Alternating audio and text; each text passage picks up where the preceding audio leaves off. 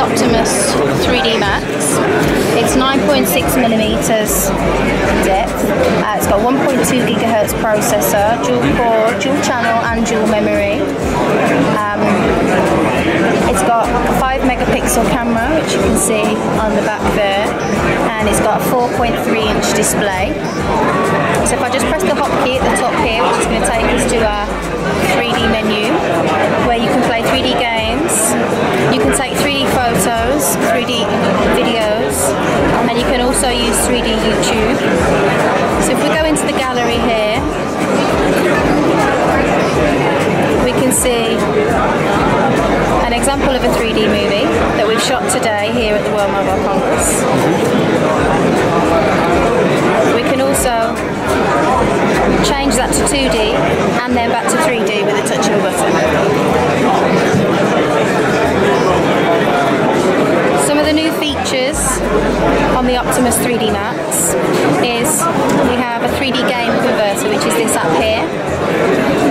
Now before, games had to be 3D specific, whereas now, any 2D games or apps we can download and we can convert on the phone. Every game? 3D. Yes. Okay. So if I press and hold down Google Earth and we create a shortcut, we go to our main menu again. It's now telling us that the app's 3D. So there we have 3D Google Earth. Okay.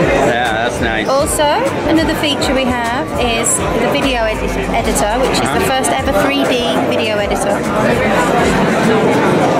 So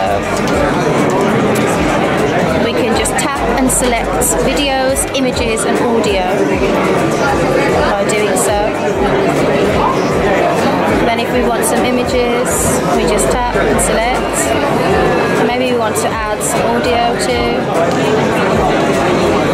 Now the best part about this for me is the export speed. So to preview in 3D, we need to save and export the file. So if we click on export, see how fast? Yeah. So if you, if you had up to 10 minutes worth of video, it would only take one minute to export. And now we can preview what we've done.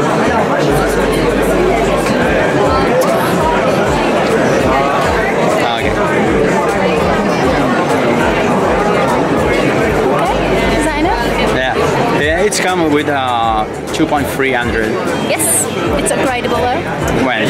I'm not sure. It's not actually launched till Q2, so the phone isn't actually out yet. So selected European countries. But uh, it's not available right now, this phone. Uh, when?